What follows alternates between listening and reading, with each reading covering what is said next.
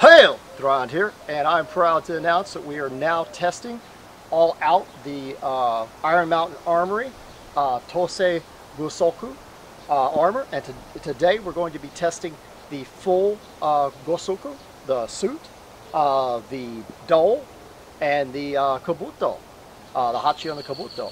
What I've done is I've set up a test based on each time period uh, or say era in history that a lot of people wanted to see. And some of these cross over into more modern warriors, uh, such I have a shillelagh here. The shillelagh is made out of mesquite and it's going to represent any type of club that this armor could come in contact with, but we're starting in the Neolithic era or uh, early man, so to speak, where they had uh, uh, flint-knapped uh, weapons, as you see here, and I even have an obsidian uh, spearhead and arrowhead as well to test on this armor on the actual dole because uh, I think that the spearheads have the greatest chance of penetrating it.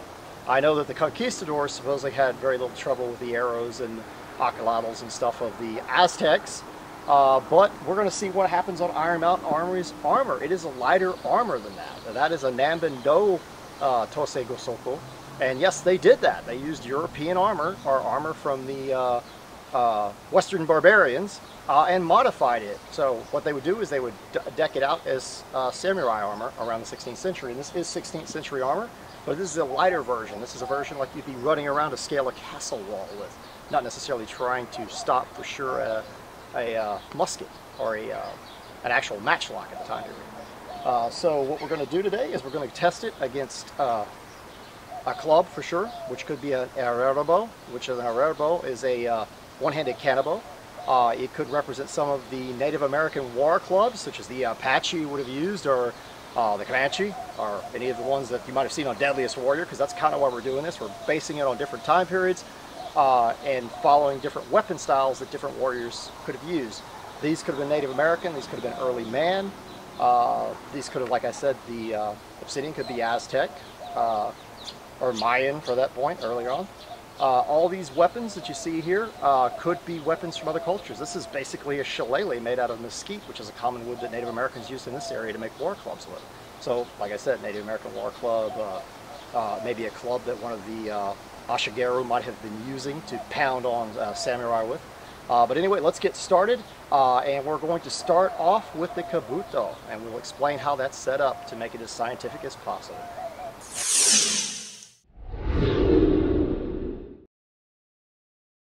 This is an important part of the test. Uh, historically, we know that uh, Europeans a lot of times wore arming caps. Uh, we even hear some stories of uh, ancient warriors using their hair as an arming cap. And the uh, chanmage was a uh, the top knot or the actual piece of hair that comes over, much like you see on sumo wrestlers modernly, but now it's a flary hairstyle but what would happen is wearing it in court and stuff, it would kind of be put in a position like this. And this was actually their hair that came out of their head. But in this situation, it's for battle. This would be pulled over like this, kind of like a mohawk or something pulled across the top of your head. But this provided an enormous amount of padding. Since uh, our Ivar Draugr head here has no uh, hair of his own, we're going to give him his own uh, red uh, chanmage. Uh, and we're going to take our Hachimaki, which is a headband, not like in uh, uh, the Karate Kid, but more like a kendo practitioner would wear.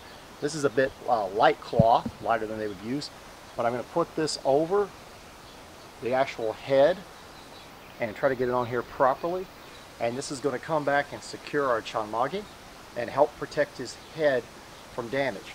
This is a very important part of our testing because the helm has a cloth liner like most historical helms do and helps hold the helm from your head like strapping would, but we know that padding aids tremendously. This head's been tested, I'm not going to lie, with another weapon, uh, the bog axe, and through another helmet. It actually cut through that helmet and into the head. So hopefully this is going to give him lots of protection, uh, and we're going to start off with a very brutal weapon. We have our hachi here, or our dome. Uh, we have our minpo, uh, Yorari means uh, face armor. We have our uh, Hana, our Kari, our uh, Shikoro, our Fuchagachi Mon here and our Fuchagachi. So we have the whole helmet uh, and let's go ahead and see what happens. I'm not going to exploit certain things. I'm not going to try to hit up under because there'd be a shoulder here and it'd be very difficult to do that. So we're not going to go for niches.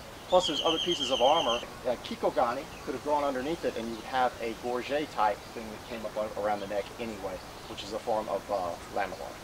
We're going to start in the Neolithic era, uh, which is all early warriors and tribal people uh, that might have still used what some people consider primitive weapons, but they were the most efficient weapons at the time uh, that were easily accessible and made. This is a shillelagh. You might recognize it because I used it in a special for St. Patrick's Day, and it was devastating to the head we hit. Me and Marquez destroyed one of these analog shell heads, and uh, after seeing that, it's hard to picture something protecting you from such an impact. Uh, this is made out of mesquite. I know a lot of the original ones are made of blackthorn. Uh, a lot of them are made out of root wood. A lot of Native American war clubs, which this could represent as well, were made out of root wood because it did not break easily. It was less likely to split. Uh, this one's made out of mesquite. Mesquite is not going to split. It's an excellent wood in this area. Matter of fact, some Native Americans used it to make their war clubs. But this could also represent a Japanese weapon. I know that the uh, Rerabo, which is akin to the Kanabo, uh, which normally had iron spikes on it or studs, uh, was a mace. So it's an actual uh, composite club. This is not composite. Some of the uh, Native American clubs are composite because they had little protrusions or bone or metal spikes. This one itself is actually uh, just wood, but the shape makes it devastating because of the actual uh, fork in the wood where I cut it out. Uh, I think it's an excellent weapon, but we're going to start off with this one, and this could kind of represent anybody. The Aztecs, the uh, uh, some of the early uh, tribal groups like the Nari. They used weapons made out of wood, and some of them are composite. This one's not. Let's go ahead and see what it does today to our helm, or our kabuto. Go ahead and take a good hit at it, and see what it does. Just like we did in the original video. Oh!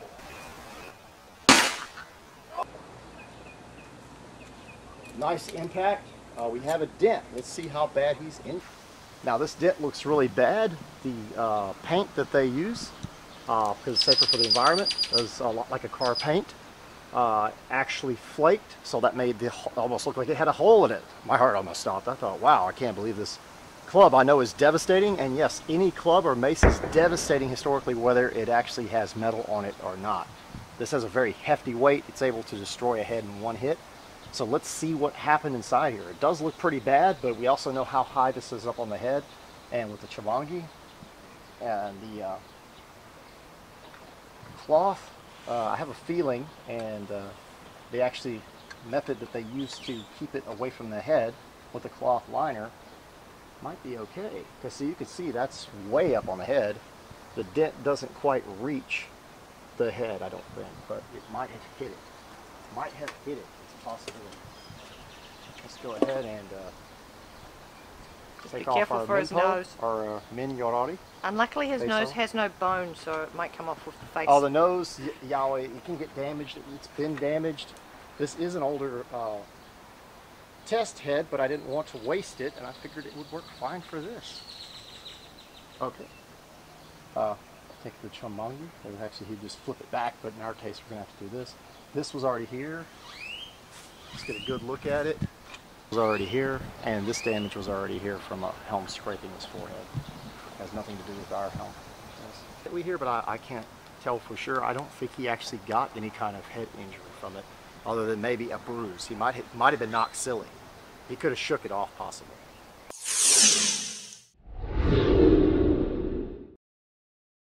We want to be as scientific as possible uh, and fair. Uh, so what I've done is I've got the doe uh, right here on our mannequin. Some of you might recognize Lola or Valkyria or uh, Valkyrie.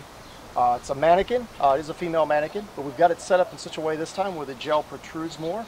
Uh, we've actually got it where the gel cannot move around inside and get damaged just by the actual shell of the mannequin. and on top of that, we have proper clothing under it. We have our hakama, and then we have our kimono on top. But to further add to this, what we've done is a lot of times there would be a silk uh, obi that wrapped around the body, much like the sarashi. underneath the armor. So this mannequin actually has that over the uh, kimono. It's wrapped around and around, kind of acting like gambeson in a way and helps reinforce areas where the do might make contact with the body at the bottom. Because you see it's domed to keep it away from the chest in case something were to slightly pierce it, it won't injure you. But over our analog ballistics gel that's in here, or jelly belly as I like to call it, uh, which is a, a hardcore gel, uh, probably about 20% gel, uh, it should give us an accurate uh, account if something does go through, if it actually wounded or injured our uh, samurai. Much better uh, than the one we did our debunking video on where they had just a straw or a stuffed sand mannequin or something that was very ragdoll-like. Uh, it is tied. I'm not using a proper Sarashi on the outside. I'm using one that's more of a shell one, and hopefully I don't hit it, but I've got it to help secure it to our post. It can give and move. This is not solid, as most people would think, you know, something solid, you know, you just put up against a tree and try to shoot uh, arrows into it or, or thrust it. Uh, no, this gives. And it could possibly get knocked loose, but I doubt it with it tied. Uh, hopefully, uh, our uh, samurai today holds up well and we're going to mostly focus on this area right here. This is where the actual ballistics gel is in this area. Uh, and we're going to see what happens in, in the uh, uh, dole area here. Uh, we might do a little testing on some of the other stuff, but this is a mannequin, so these are not proper analogs. So the main focus is to test the metal itself, the steel from Iron Mountain Armory, and see if it can hold up to all the weapons that we will be testing today.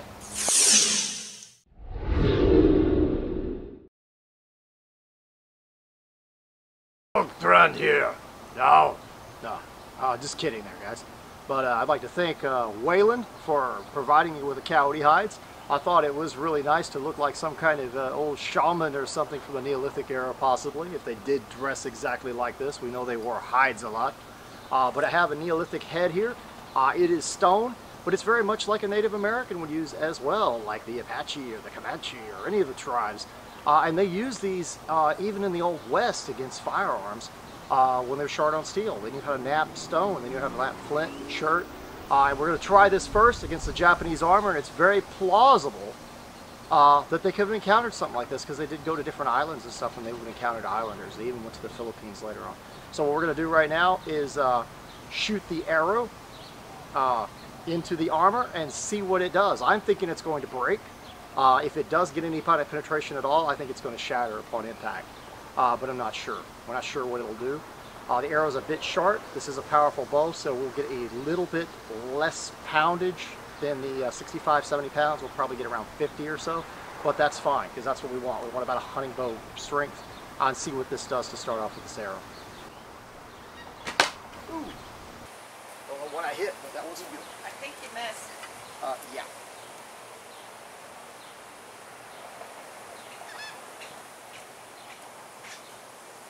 So sharp arrow. Oh! Well, that's what happens when you hit something that stops the arrow instantly. We've got a scratch. I meant to hit a little bit lower, but I hit a bit high, but I still think this shows that the Iron Mountain Armory uh, dole is very protective. It put but a scratch. I don't even know if it scratched the metal, maybe a little bit, but the arrow exploded. Kind of what I expected, but worse than what I expected. The arrow's in I expected pieces. the head to burst, not the whole thing. Let's see what the head did. That Uh, it shattered. We could try the obsidian and see what that does. I mean, that's what the Aztecs used, and that's what a lot of uh, Islander cultures used. Was uh, they swore by it? It was sharp, razor sharp. So let's see what it does. The obsidian tip. Uh, see what it does. Uh, it is probably more brittle than the chert or the flint. Uh, it should be sharper though. I don't think that's going to make a big difference. Although when we inspected that closely, we realized that not only did the point hit and put a little dimple in the metal, not much, it shattered and hit it again, and then the arrow exploded into three pieces or, or more, like into smithereens. Can't wait to see that in slow-mo later.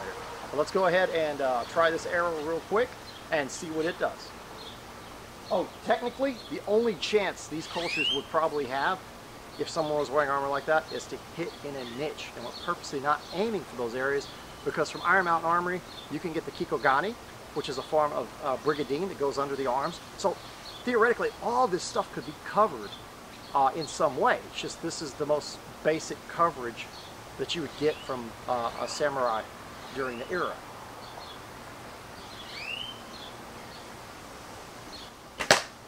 Ooh, that was amazing. It shattered our arrow. And we hit right over our ballistics gel. And it did the same thing. Let's look at these up close. This is amusing. That would have been annoying, but this is over our ballistics gel. Our ballistics gel's in this area. But what happened here is it didn't do any real damage, but it hits one spot, shatters the arrow, and then the second part where the arrow shattered,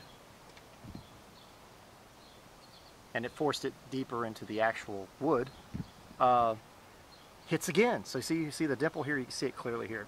Bang, where it hit, cracked the stone, and then it hit again here. Pretty interesting. You'd probably get a double tap weird feeling from that, but I don't think it'd be much more than a tickle. Before I forget, I would like to thank Objects de Art and Leslie here in Corpus Christi, Texas.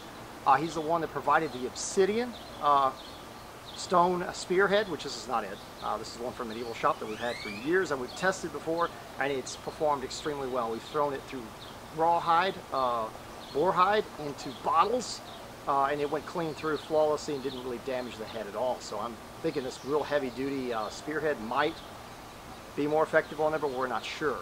Uh, we do have an obsidian one that we received from him, the obsidian arrowhead, and the uh, flint or chert arrowhead. I'm not sure exactly the stone composition, but it's a really good stone that they used. It was very sharp, uh, although they didn't do very well. We just saw they shattered on the armor and left nothing more than a, a scratch on it. So let's go ahead. We're going to try this spear. I assume an early man, or even a tribal man, if he had attacked this armor from a distance with a bow, uh, this is quite sharp too. It's a nice heavy piece of wood. Uh, it's attached with sinew and actual tar, uh, much like early man would do.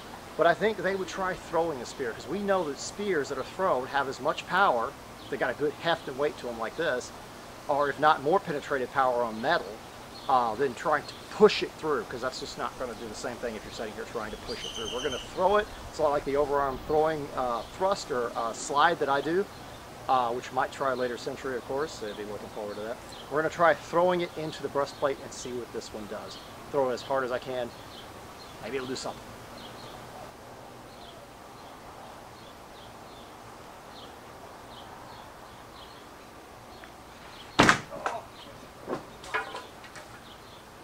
The obsidian right here, uh, instead of throwing at the target, which I threw off, I normally don't do that, but I haven't been warming up lately, I glanced at our target and it stuck in one of our uh, wooden throwing targets behind and broke off.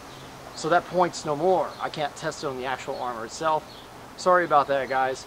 Uh, it was kind of a, a fluke. Decided just to show you that I missed and broke it, and we don't have one to go with. We do have the obsidian. The only thing I'm going to do is, a lot of people always argue and tell me I need to wear some kind of protection, especially if I'm dealing with something that could get in my eyes. And I'm sorry, I don't want volcanic glass in the eyes. So you're going to put these uh, Oakleys on. Uh, I know this might look a little crazy. Uh, it's kind of like Joe Cool, uh, Trend, yo. But uh, let's go ahead and see what happens. I'm going to see if I can put this through there. I'm going to use my overarm throwing slide technique, but it just is a throw, a throwing thrust technique because we know that they threw a lot of spears early period, so they would have known to use that kind of energy behind it. So if he was trying to give it everything he got and he only had that one opportunity to try to hit the guy in that spot, now I'm not saying that's the best thing, I think you should aim for any gaps, niches, anything like that. I think even early man would be smart enough to know this. But what I'm going to do is I might have my hide shield and on its frame and I run up there and I'm going to try to give it a good thrust just straight into the body and see what happens. So let's, let's go ahead and try this out.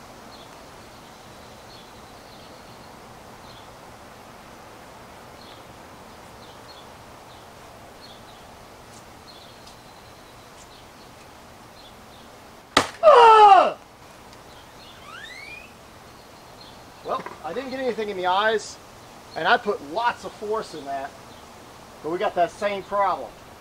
It chips, it breaks, and it hits again, and we've got a dent in the dough. But uh, that dent is way in front of the body, so nothing really got transferred into the target itself. It's kind of a crunch zone, like kind of like modern cars eat up energy because they crunch down instead of stay solid, and the person gets jostled around the inside without a seatbelt and killed. What ends up happening with the Iron Mountain Armory, uh, it's very solid steel. It's slightly hardened because it's a cold roll steel. It's harder than just regular mild steel or something. Uh, and then it's hammered out in shape, which gives it even more uh, strength. And then you have these double bands. So what ended up happening is uh, it crunched a little bit to eat the energy up, so he probably didn't feel anything. Uh, and it shattered our obsidian head. Uh, pretty much like our heads shattered on the arrows, and just like our heads, uh, our other air, uh, our other uh, flint or chert head, flint knapped head, uh, broke in our uh, broken our wooden stump over here when it glanced off the target. So anyway, I hope you all have enjoyed our episode today. Uh, I think that the Iron Mountain Armory has survived the Neolithic era and the early primitive tribal cultures uh, if they weren't using more modernized weaponry. Survived quite well, unless you were going for niches. That's my disclaimer here. The person could still a warrior from any of those time periods, uh, early Neolithic era, uh, Native American, uh, Islander, like the Maori. Any of these these uh, cultures could have injured warrior cultures could have injured him if they hit the right areas but not through the armor itself. Uh, even the uh, shillelagh, as hard as it hit, good, gave him a good thump on the head. Might have dazed him or stunned him. You might have been able to take advantage of that, maybe. But it's hard to tell because we don't even think it impacted the actual head. After closer examination, uh, the actual little smudge mark or whatever on the thing that looked like a little damage to the flesh itself on top of the head was already there. It was there when we put the chamagi on, uh, the chamagi, and the uh, uh hachimaki we put that over it. So pretty much uh, he's done well today. Uh, our next stop will be the Bronze Age and the Iron Age. So we'll be looking at uh, warriors like Achilles possibly fighting against our samurai and the Spartan. So we're going to have bronze and iron, and I guarantee you the spears will be a lot more damaging these that shatter when you just thrust and they break and double tap pretty much. anyway, hope you all have enjoyed our episode. Be looking forward to the next episode. And as always, farewell. As you can see, this is where the spear actually hit and just got destroyed. And we're going to have to be careful for shards for the next few days. This is the one that decided that it didn't like the armor as much. It's quite heavily buried in here. And it has a little buddy of a black bumblebee over here. A black bee. But as you can see, it's going to be lodged in there for a little while.